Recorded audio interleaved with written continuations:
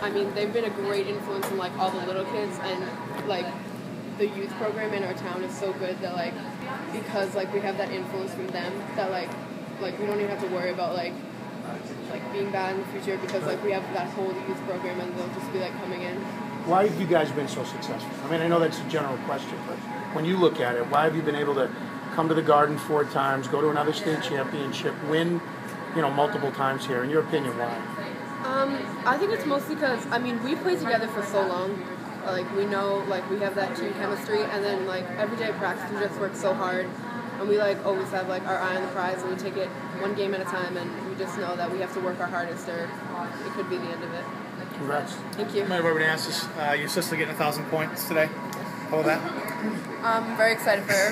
Um, we've been hoping she'd get it for a long time, and I'm just so proud of her. She's worked really hard. You're not jealous that she did it at the Garden, and how you you have to up the up the game now, right? No.